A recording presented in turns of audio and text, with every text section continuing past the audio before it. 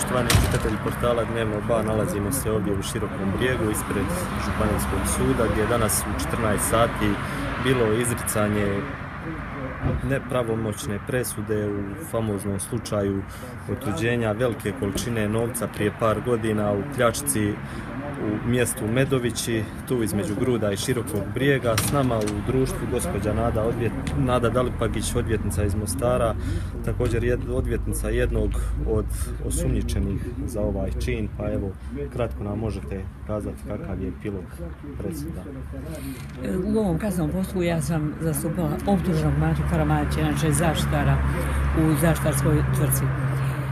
Pa mogu da kažem, donesena je oslobađajuća presuda, što me doista veseli, ali mogu izravno kazati da za mene nije iznenađenje ovakva presuda iz razloga što sam vidjela u tijeku kaznenog postupka da tužiteljstvo nije uspjelo dokazati da su optužene osobe počinile kazneno djelo pomaganja pri razvojstvu. To iz razloga znači što ovo kazneno djelo traži znači postojanje direktnog, znači direktnog umišljaja kao konstitutivnog elementa ovoga kaznenog djela. Znači da su s namjerom da to počine to kazneno djelo, znači ne samo s nego sa direktnim umišljajem, što tužiteljstvo nije dokazalo. Također, u tijeku postupka nije uspjelo dokazati bilo kakvu vezu optuženog sa počinjenjem kaznenog djela. Ja sam također u završnim riječima istakla da je stvarno pitanje nije cilj podzanja ovakvih optužnica. Jer e, podzanje ovakve optužnice gdje, gdje je zapravo na optuženičkoj tužnici treba staviti počinitelj ovoga kaznenog djela da govore na pitanje gdje su pare koje su uzele taj ogromni novac. Znači, to što nije uspjelo dovesti znači, optuženičku klupu ovaj, prave počinitelje kaznenog djela, a ovo su ljudi koji su jednostavno zbog svoga posla našli na tom određenom mjestu i, i tužiteljstvo znači nije uspjelo tijekom postupka dokazati da oni imaju bilo kakve veze sa počinjenjem ovog kaznenog djela.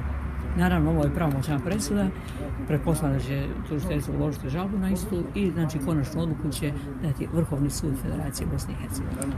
A kada spominjete stvarne krivce, što možemo očekivati kada će se u ovom slučaju pronaći stvarni krivci, ali nekih naznaka?